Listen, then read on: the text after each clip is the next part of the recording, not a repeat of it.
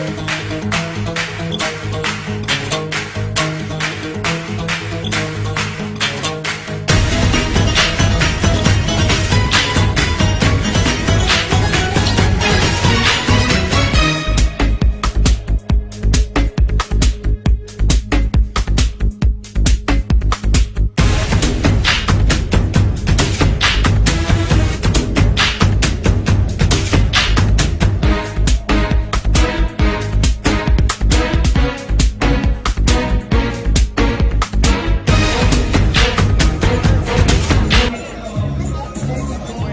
for us in Galway.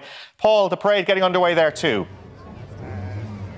Yeah, that's right, Richard. Look, we're used to the wind and the rain here in the west, but the sun is shining down on Galway City. Uh, around 30,000 people have lined the streets uh, of the city for what is the biggest St. Patrick's Festival uh, in years here, officials saying. Around 1,500 people taking part in the parade itself. You have everything as you'd expect from the local football, uh, GAA soccer clubs. Uh, uh, the parade itself here in Galway aims to uh, showcase the diverse communities